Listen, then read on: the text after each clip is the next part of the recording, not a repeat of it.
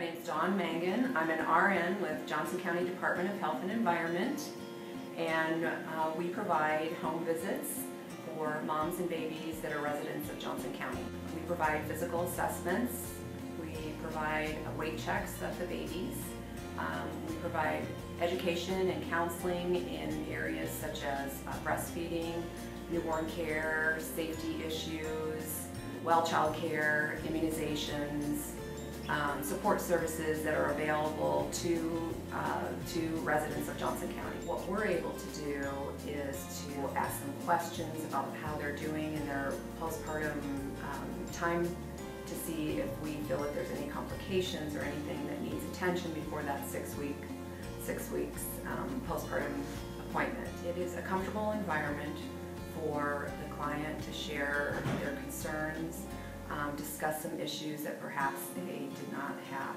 feel that they had the time to discuss um, in the clinic setting. I've had moms that have had cesarean deliveries and I go and see them and they're in a great deal of pain. We can often intervene, um, which prevents a visit to the emergency room.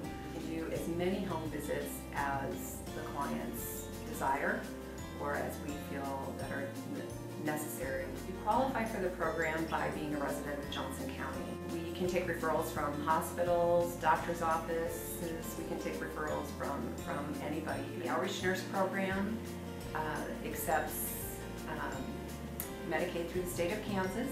Johnson County Department of Health and Environment also files with some insurance plans. For more information about the program, you can call 913-826-1228.